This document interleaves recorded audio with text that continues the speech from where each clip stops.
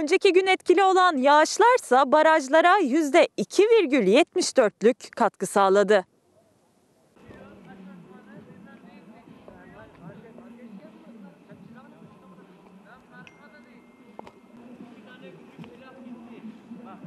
Oğlum ben çektim buldum da ben haberi kendime silah mı